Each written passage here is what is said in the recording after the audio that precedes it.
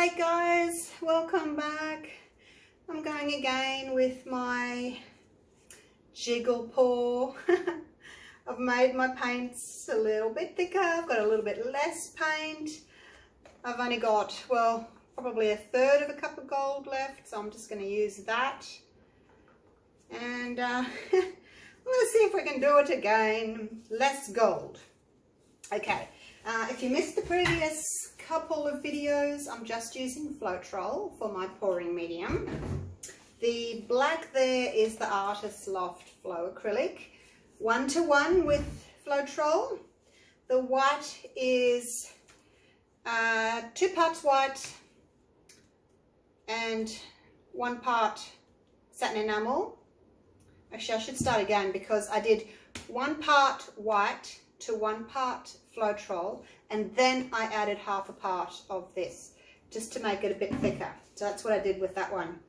The gold is one and a half times paint to one part Floetrol, so it's a bit thicker too. And then the blue here is just the Artist Loft Liquitex Basics with a touch of black to make it navy. And then I've got turquoise blue with um, a little splash of black to make it a little bit darker too. So that's what I'm doing. Um, the other thing I'm going to do is I think I'm going to coat the whole thing in white um, and then and then pour. So yeah, I'm thinking I'm going to do that. Hmm, maybe not. I can't decide what I want to do. All right, anyway, I'm going to get started. I'm going to put some white in the bottom first.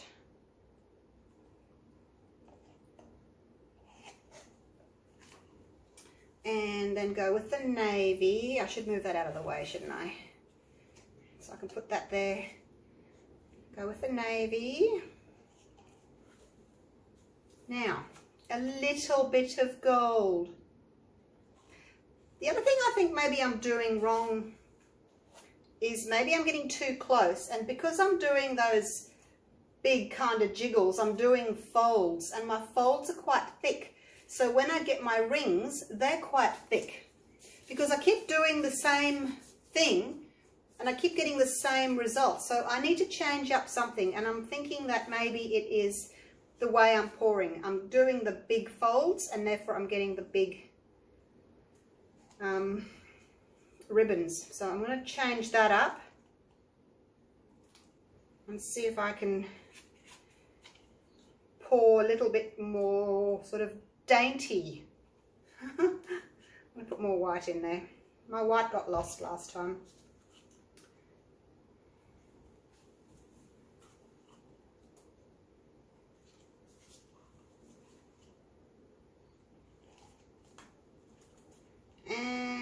Was trying to use not so much paint, but that ain't happening.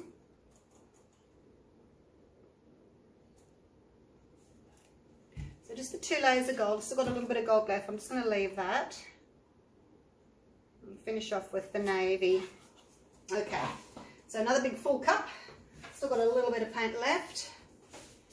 And I've got some white left. So I'll do, I will do the white puddle, but I'm going to just try and pour differently this time.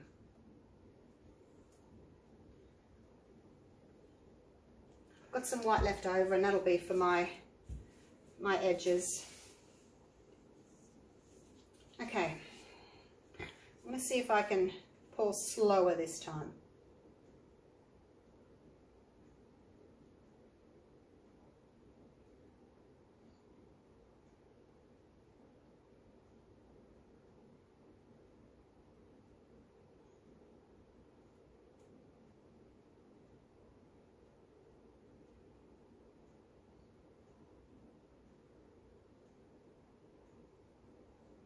So I'm getting thinner, a thinner stream. Still doing my little jiggle, but a thinner stream, taking longer. And hopefully it'll be an improvement. Although I can see a big gold shimmer over everything. Oh well. Maybe this is just not my thing.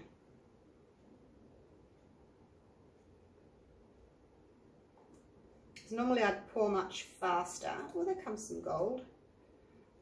And I'd pour much closer to the surface to get my fingerlings. So seeing if this is going to be any different. Do they say? A sign of madness is doing the same thing over and over and expecting a different result. So I was doing the same sort of pour over and over, expecting the same or expecting a different result, but getting the same result. So obviously something had to change.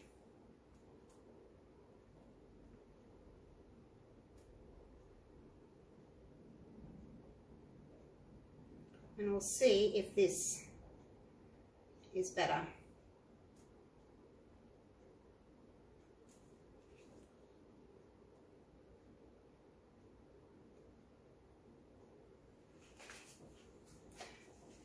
It's looking different already. I have got much finer little fingerlings and things, haven't I? Still got a gold haze over it. All right, uh, let's do some white. I think I might just thin this white out just a touch. A little splash of water. You know how I like my flow enhancer to be a little bit thinner than the other paints, just so that the puddle will flow right over it and not kind of hit a bump and not want to go over it, so that's why I do it. Um, got a little bit of navy left here actually. I wouldn't mind putting some navy just on the edge. I like having the navy on the outside. One day I'll actually put navy on the edge and just have a, a navy background because that would look really pretty, wouldn't it? Hopefully I won't lose all of the navy. Put some there and some here because I've already got some there. Probably will end up tipping it all over, but I'll try and keep it, a little bit of it anyway. Same here, see if I can keep a little bit on the corner.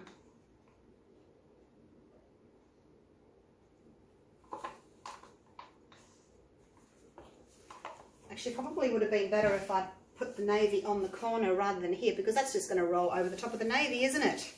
Silly woman. Silly woman. Yeah, I should have put it there because that's just going to roll over it. Next time. Live and learn.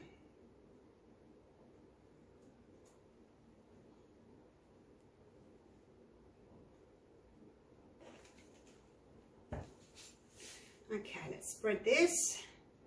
I'm liking the look of it so far.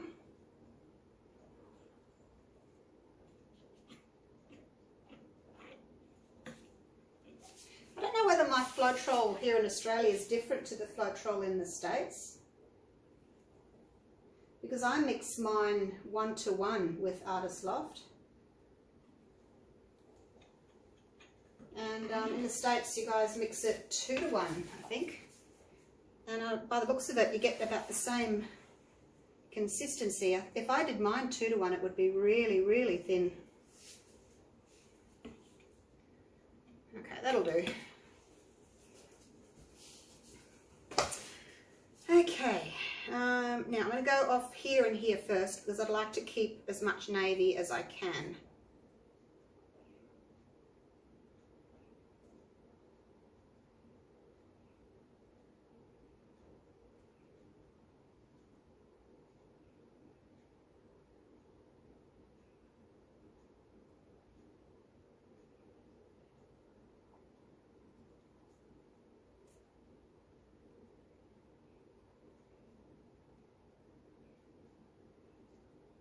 Go, Navy, don't go. Don't go. Don't leave me.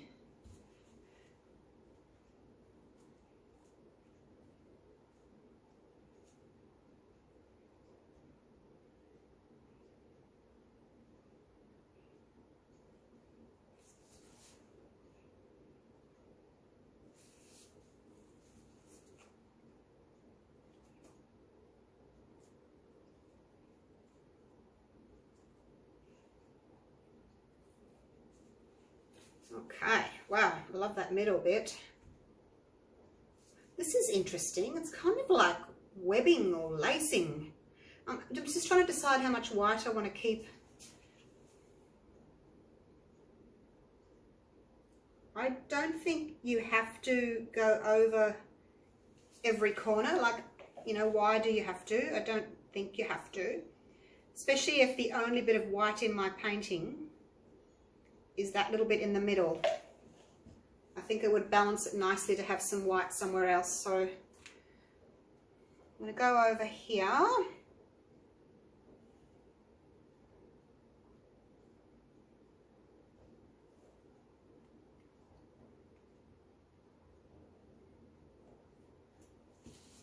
just going to see what it looks like with some white on the corners. I can always go over them later. not to contaminate my stick.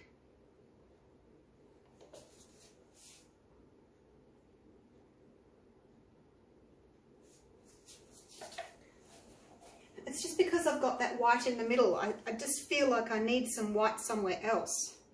I'm going to leave that. I'm going to leave that like that. Who says you have to cover the whole thing?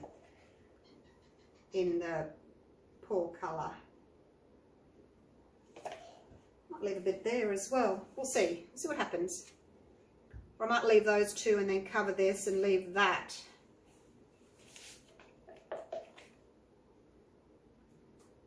Just have a little play with it, hey? See what you like the look of. In saying that, I have got a lot of paint on the surface. I may actually have to tip some of it off because there's a lot there. So if I'm wanting to keep white corners, I probably need to make 400 grams in my cup instead of 500 grams in my cup or less.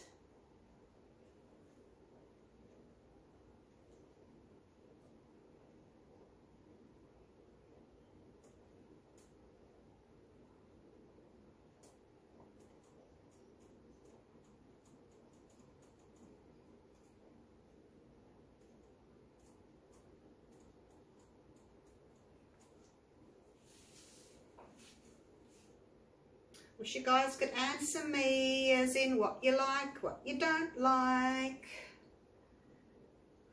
Hmm.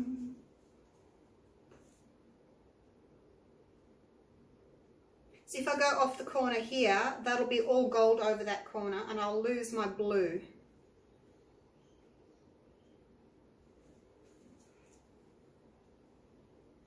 And I like this bit of gold here, so I don't want to go over there. So basically I've just got too much paint on my surface. I'm going to have to take some off here.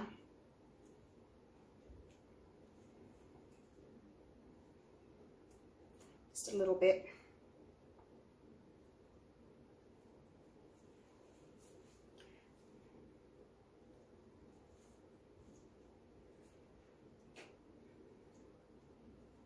Hmm. Right don't know what to do, you guys.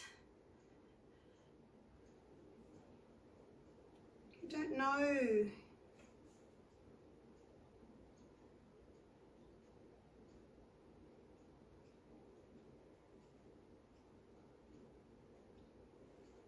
I take some of that gold off there? And take it up to the navy.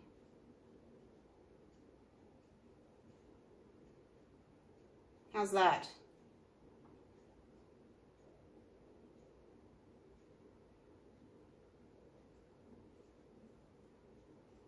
That way I don't have a big gold square in the middle. That's better, isn't it? Think I need to come down here a little bit more. I'm just not quite happy with that there.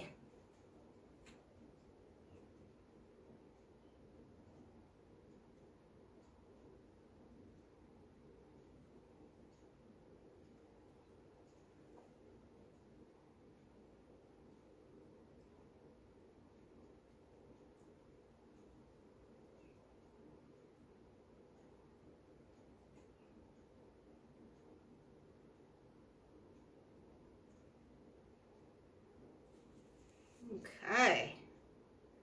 Wow. I'm loving that. I really do love that. Got my navy center. Got lots of white in the middle. Balances with some white on the edges and that through there. A little bit of white on the edges just to balance that white in the middle.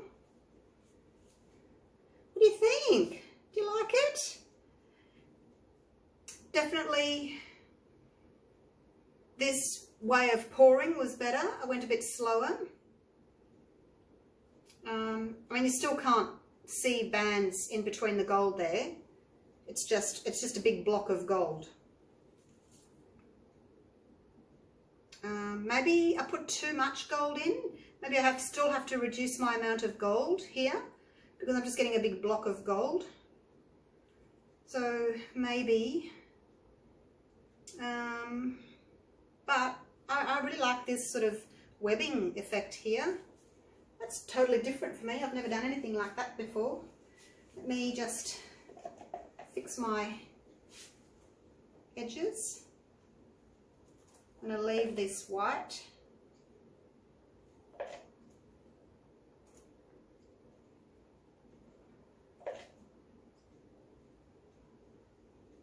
Again, wasn't anything that I was expecting, but um, I like it anyway. It's really pretty.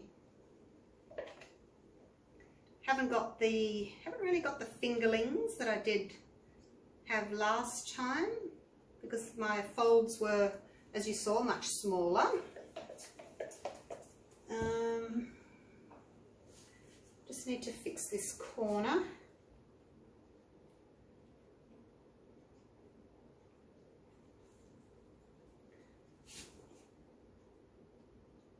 Oops, no, we don't want white in you. Go away, white. No, we don't want white in you. No white in the corner. Okay. A little bit more there. That's right. That corner's white. I just need to fix up that corner there. I'll do that later. You don't need to watch me do that. Um, need a little bit of gold just there and a little bit of blue just there it didn't actually pour over that edge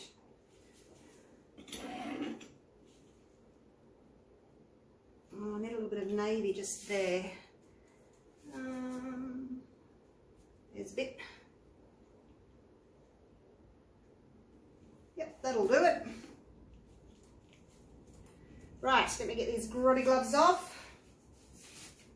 I'm going to give it a torch.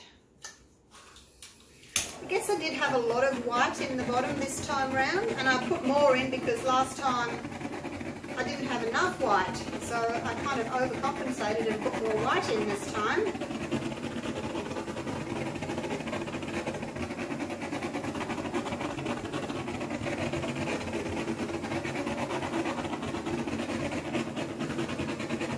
if I can get some little pearls or anything up, a bit of interest somewhere. But yeah, I'm still, still putting too much gold in. It was only a tiny little put a bit that I put in, but I'm still getting this big band of gold. So, I don't know. I'll have to reduce it even more. I don't know that I can reduce it even more. Let me just finish this bit of white while I'm here. just in case I forget to do it later. It's always best to do it while your painting's wet. It's a bit hard to add on when it's dry, it kind of leaves a bit of a, a blob. Okay, that's it. I love it. Turn the light off. So for um, composition wise, the only thing that I think I could do, and you guys would probably hate it if I do it, is pull from there down off. So I'm just left with that. And just take all that off. I'll think about it. I'll leave it for now. Um, because I do like the way that the white is centered. But I could take that whole third of the painting off, couldn't I?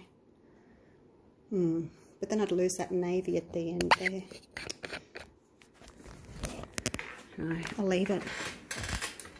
I'll just have to keep doing these. it doesn't really look anything like my last one. There's the last one in there drying.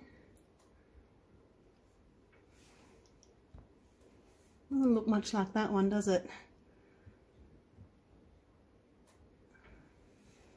They're just different.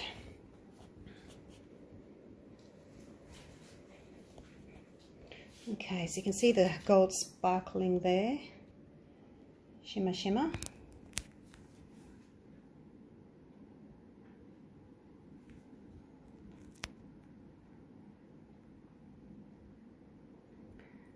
This wispy, wispy edges there.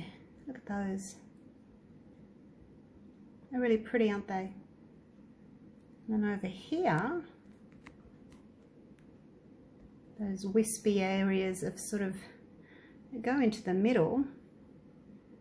Get these very fine lines. It's like it's like their tree roots coming down. Look at that. Very, very fine. Just amazing. I've got that nice depth of colour there, the navy. Got some turquoise on the edge there.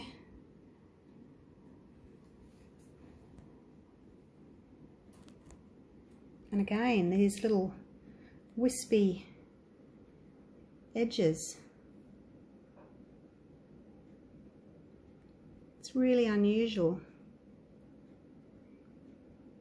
A few little white cells popping up here and there from the torching. They may grow a little bit more, not sure what they will do. But uh, yeah, the only thing I'm not happy about is all that gold, that big, big thick band of gold around there. If it was just a little bit like that, I could deal with it, but it's just a big thick band.